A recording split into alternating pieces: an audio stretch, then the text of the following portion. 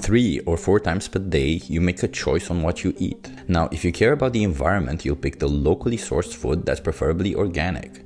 And you may pay a bit more for it, but it's all in the name of the climate, so it's good. But what if I told you that that choice means considerably less for the environment compared to another choice you could be making? And no, I'm not talking about restricting your calories. If you want to make the best choice for the environment regarding your diet, then you should switch to a plant based diet. That could reduce your climate heating emissions by up to 75%. And any dish that you want, there's a plant based version of it, so you wouldn't be missing out on anything.